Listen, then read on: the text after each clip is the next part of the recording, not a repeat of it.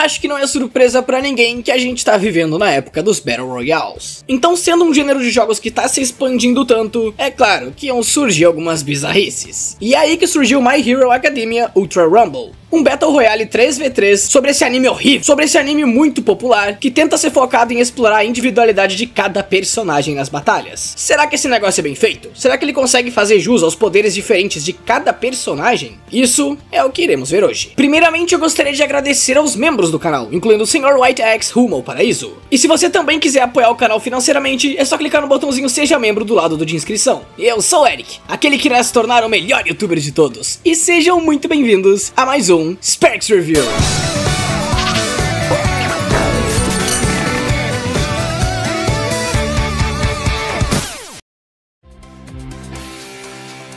My Hero Ultra Rumble foi desenvolvido pela Biking, a mesma desenvolvedora dos jogos de luta que o anime teve, e publicado pela Bandai Namco. O jogo no momento está disponível para PS4, PS5, Nintendo Switch, Xbox One, Xbox Series X e também para PC com seu lançamento sendo no dia 28 de setembro de 2023. E primeiramente uma coisa que não dá para deixar de notar aqui são os menus do jogo. Porque, pelo amor de Deus, que menu feio que esse jogo tem. Tipo, qual que era pra ser o tema disso? Olha que simples e sem personalidade que são os negócios. Parece um menu para jogo mobile muito mal feito. E o que ele tem de feio, ele não tem de praticidade. Porque é horrível manusear os menus desse jogo. Às vezes você aperta para ficar pronto e tem que apertar de novo ali do outro ladinho onde tá procurando o lobby. E quando alguém te convida pra sala, você tem que ir nas notificações e depois em notificações de convite, clicar no convite, depois aceitar para entrar na equipe da pessoa. Sendo que o jogo nem tem algum pop-up ou algo assim para avisar que alguém te convidou. Você tem que ir lá nas notificações para ver mesmo. E os gráficos do jogo em si são aceitáveis.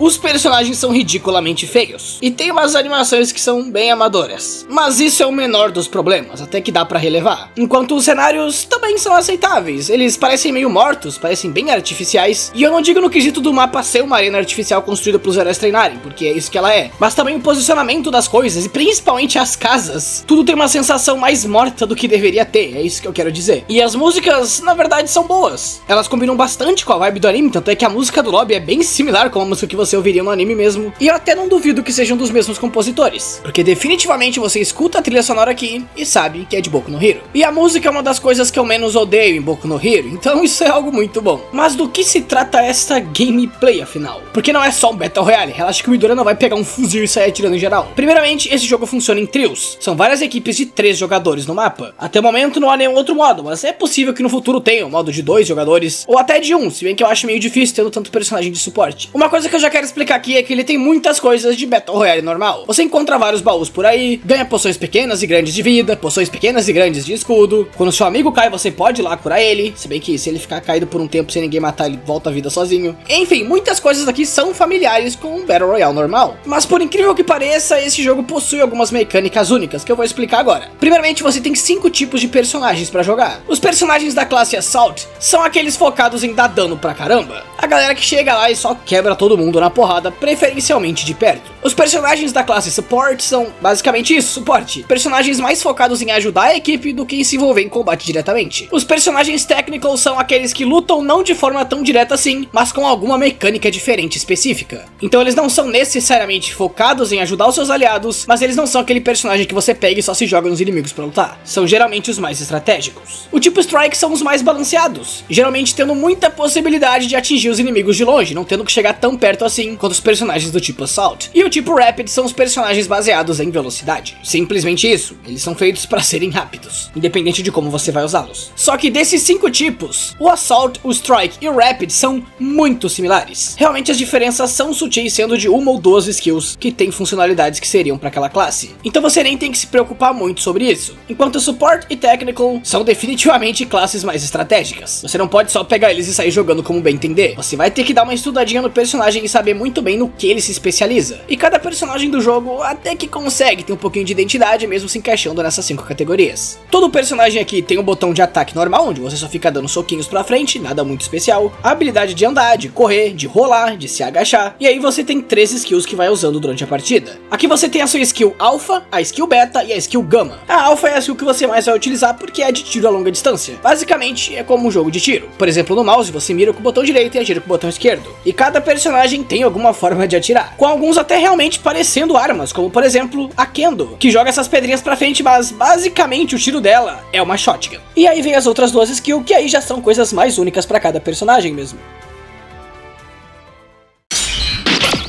Review. Review.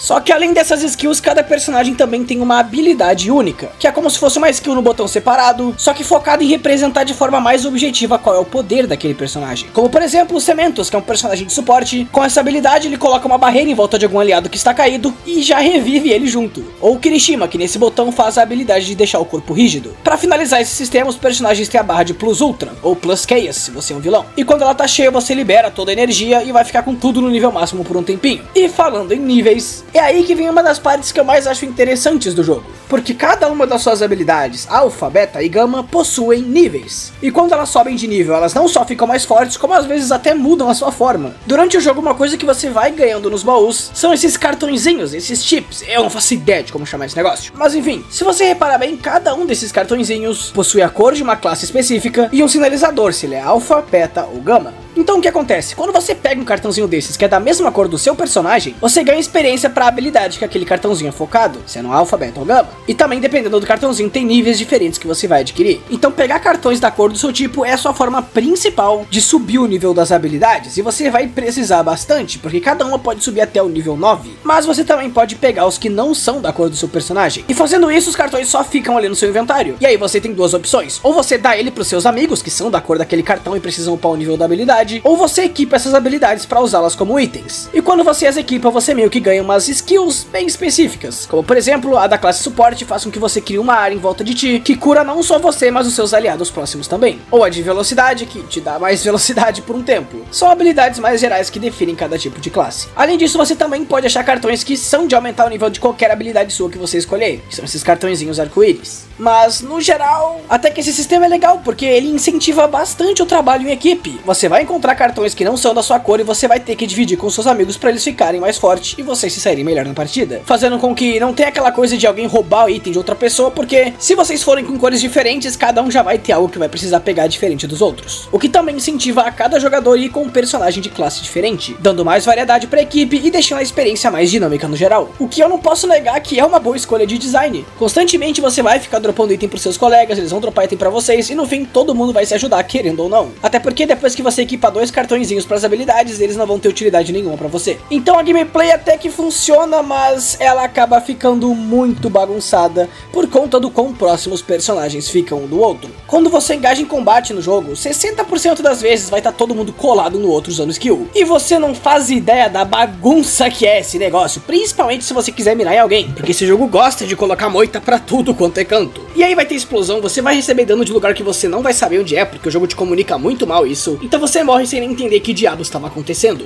Esse para mim é o problema da gameplay. O jogo vira uma bagunça. Não só por ter muitas coisas que atrapalham a sua visão, como também pelo jogo comunicar de forma muito porca de onde você recebeu dano, como você recebeu dano e se você sequer tá acertando alguém. Ele comunica essas coisas, só que de forma ruim. Você só vai entender do que eu tô falando quando tiver que usar um personagem de assalto no meio de uma confusão com mais de duas equipes. O negócio é simplesmente impossível de enxergar. Mas um dos personagens que eu mais gostei de usar aqui foram a Uraraka, porque ela ult pra muita coisa, principalmente o tiro dela, que pode ser usado como um gancho para te levar para os lugares, se bem que ele não funciona 50% das vezes. E o Mr. Compress, que é só incrível de jogar. Você pode simplesmente guardar o seu amigo com você e depois você se joga para longe usando outra habilidade e pronto, vocês dois estão seguros e vocês podem se curar. Mas o que é um Battle Royale sem um mapa decente? E o mapa desse jogo... É... Ele não é ruim, ruim. Muita coisa que é mal posicionada, muita coisa não teve muito planejamento em mente. A água do mapa, por algum motivo, não funciona. É a coisa mais amadora que eu já vi na minha vida. Mas o mapa até que funciona porque tem bastante áreas aqui que são variadas geograficamente. Tem lugares mais abertos, lugares com prédios, lugares com montanhas, com destroços. Essas coisas só são executadas de forma medíocre. Nada é criminalmente ruim aqui, mas também nada é excepcionalmente bom. Algumas áreas são vazias e poderiam muito ter mais verticalidade, enquanto outras deviam ser mais abertas e ter menos moitas. E ele também tem muitos cantinhos que simplesmente são desnecessários, lugares vazios com nada de interessante por lá. O que me surpreende, porque o mapa desse jogo é pequeno. Dava muito bem pra eles terem colocado utilidade e detalhes até nos lugares menores. O mapa só é extremamente medíocre e entediante, mas ele consegue fazer o seu trabalho, então não é terrível. Mas relaxa que esse jogo consegue ter coisas terríveis. Como uma coisa que simplesmente tira todo o direito de alguém gostar desse jogo. O sistema de gacha. É claro, é Claro que teríamos isso aqui. É claro, afinal, o que há de ruim em estimular jogos de azar para crianças, para não só induzir elas ao vício de gastar dinheiro, como também estragar todos os receptores de dopamina no cérebro delas? Meu chapéu, por que isso ainda não é um crime?